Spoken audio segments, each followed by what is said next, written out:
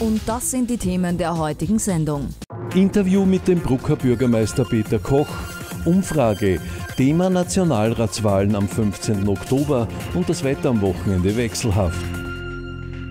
Die Zeiten, wo mit dem Amtsantritt auch gleich eine sogenannte Schonzeit für den jeweiligen Politkandidaten verbunden waren, sind vorbei. Heute ist der Mandatar sofort gefordert und mit den diversen kommunalen Baustellen konfrontiert. Ein Beispiel für dieses Ritual ist der erst kürzlich ins Amt berufene Bürgermeister von Bruck an der Mur, Peter Koch. Sie sind jetzt einige Monate im Amt. Was werden Sie verändern? Naja, ich bin einige Monate im Amt und ich stehe da auf diesem wunderschönen Platz, auf dem Koloman-Wallisch-Platz, dem Hauptplatz. Und zu verändern heißt einfach die Stadt Bruck ein bisschen in dieses nächste Jahrzehnt zu führen und auch die Stärken dieser Stadt zu nützen, die Stärken auszubauen. Wir haben einen Visionsprozess eingeleitet, Bruck 2030. Und wenn man hier sieht, äh, unsere Bauprojekte, wir haben die agilste Innenstadt der Obersteiermark im Herzen der Obersteiermark und das gilt es weiterzuentwickeln. Wie viele Baustellen hatte denn der Ex-Bürgermeister hinterlassen? Wunderbarerweise einige Baustellen in der Innenstadt und ich habe einmal spaßhalber gesagt, ich, ich umarme gerne Menschen, aber auch Kräne und man kommt schon ein bisschen unter Druck, wenn man Kräne umarmt, weil wirklich in der Innenstadt einiges los ist und einiges wird noch kommen. Finanzausgleich. Die Kommunen klagen und sind unzufrieden. Sie auch? Ja, das ist natürlich ein Thema für alle Kommunen. Das heißt, dass, dass äh, Leistungen immer wieder von der nächstgelagerten Ebene auf die Gemeinden abgewälzt werden. Dort natürlich die Finanzierungssituation eine schwierige ist, aber das sind Herausforderungen, die man annehmen muss. Und wenn es so einfach wäre, könnte es eh jeder. Sie sind eine Persönlichkeit, man kennt sie, man weiß auch, dass Sie Stärke haben. Haben Sie so viel Stärke, sich gegen die Unbilden, die sich da bilden, aufzutreten? Naja, das ist selbstverständlich. Man muss natürlich auch Qualität haben, auch in schwierigen Situationen einen Kurs zu halten. Und ich glaube, das habe ich in meiner bisherigen Tätigkeit bewiesen und das werde ich auch in dieser schönen Stadt beweisen. Die Stadt Bruck war ja und Kapfenberg und Leoben zählten ja dazu eine rote Stadt, hat man immer gesagt. Wie viel Rot ist denn geblieben, respektive wo fließt die andere Farbe hin? Naja, natürlich ist Bruck ein sozialdemokratisches Kerngebiet, die gesamte Obersteiermark, aber in der Kommunalpolitik gibt es letztendlich keine Parteipolitik, sondern wir versuchen gemeinsam über die Parteigrenzen hinweg diese Stadt weiterzuentwickeln und so sollte Kommunalpolitik auch funktionieren. Ich bin klarerweise Sozialdemokrat. Sind Sie Bürgermeister, das steht fest. Was wollen Sie noch werden? Na, ich bin Bürgermeister, ich bleibe Bürgermeister und das ist das schönste Amt der Welt. Wie kommen Sie mit den anderen Gemeinderäten zurande? Es gibt ja da und dort natürlich immer Kampfeslustige.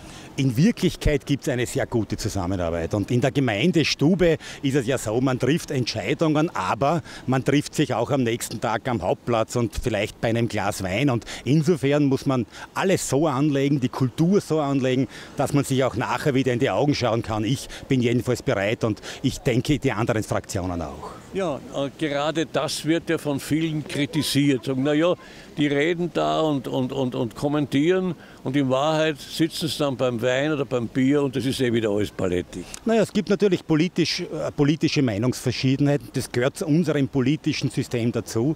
Auch der gepflegte Diskurs, die gepflegte Diskussion. Man sollte allerdings ein gewisses Maß an Würde, an Respekt beibehalten und ich glaube, dass uns das in Bruck an der Mur in großem Maße gelingt. Der Bürgermeister von Bruck ist standfest und wird natürlich auch noch einige Stürme überleben müssen. Ja, klarerweise, wenn man sagt, man geht auf See, dann ist der eine oder andere Sturm da und dafür gibt es eben einen Captain, dass man auch im Sturm den Kurs hält und dazu bin ich bereit.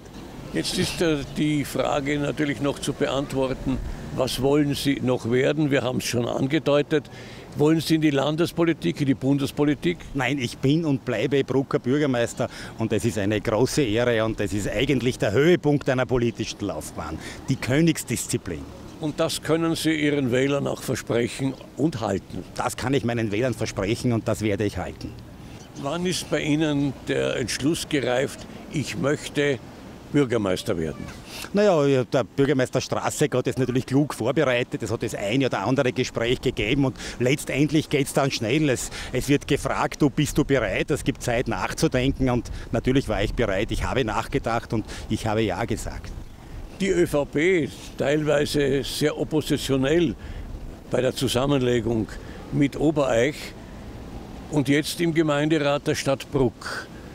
Und jetzt muss sie dort mitstimmen, wo sie eigentlich zuvor dagegen war. Ich spreche vom Budget.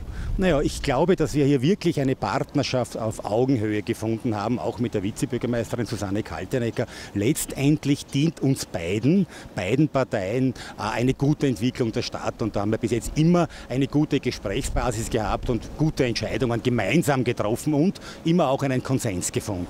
Und die Sache, die gerichtlich auch anhängig war, ist gelöscht. Das ist für mich alles geklärt, ja. Herr Bürgermeister, dann wünschen wir Ihnen einen schönen Herbst. Einen Herbst, der so sein soll, zumindest was die Meteorologie anbelangt. Und es bleibt zu hoffen, dass der junge Bürgermeister auch in Jahren noch jung ist. Ja, ich danke vielmals und meine Wünsche und Grüße auch den MEMA-Zusehern und ich wünsche ebenfalls einen wunderschönen Herbst. Dankeschön, danke.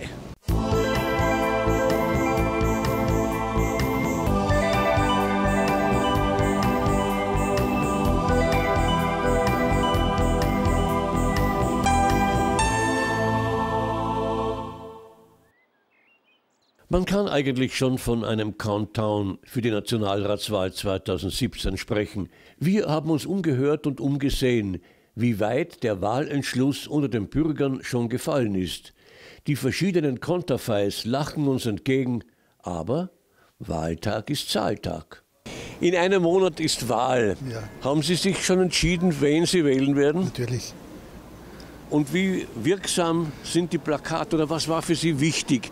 Zu sagen, den oder die wähle ich? Ich lege schon lange keinen Wert mehr auf Plakate. Brauche ich nicht. Ich bin ein politisch gebildeter Mensch. Und was ist für Sie das Hauptkriterium?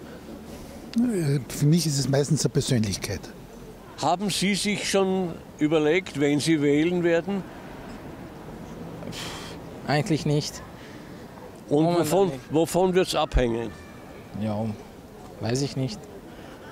Vielleicht Die Plakate, wirken die? Na, ich habe eigentlich nicht gesehen, die Plakaten. Bis jetzt. In einem Monat ist Wahl. Wissen Sie schon, wenn Sie wählen? Ja, sicherlich. Und was war der Grund, das Ausschlaggebende, warum Sie gerade den oder die wählen wollen? Weil die am besten für mich gesorgt haben bisher. Und deswegen bleibe ich bei dieser Partei. Und die Plakate, die man überall sieht, haben die, die eine Wirkung? Nein, die beeinflussen mich überhaupt nicht. In einem Monat ist Nationalratswahl. Ja. Äh, haben Sie sich schon entschieden, wen Sie wählen werden? Ja, eigentlich schon, ja. War das Plakat ausschlaggebend? Nein, eigentlich nicht. Das ist schon von bei der Partei her von Grund herauf schon einmal. Da treffe ich die Entscheidung, ja. Also was die Partei aussagt und nach welchen Prinzipien sie sich orientiert, ja. Haben Sie sich innerlich schon entschieden, wen Sie wählen werden? Das weiß ich schon seit Jahren. Immer denselben.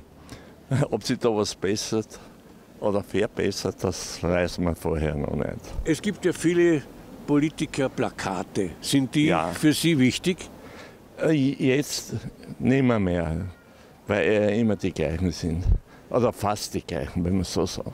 In einem Monat ist Nationalratswahl. Wissen Sie für sich schon, wenn Sie wählen werden? Ja, ich weiß es schon. Was war ausschlaggebend, dass Sie sich entschieden haben? Das Plakat Jedes Kind äh, ist ganz viel wert. Wissen Sie schon, wen Sie wählen werden? Ich weiß nicht.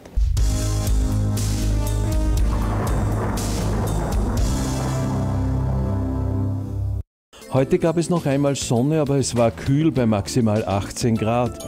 Das Wochenende wird unbeständig und kühl und man muss immer wieder mit Regen rechnen. Die Werte liegen zwischen 14 und 18 Grad.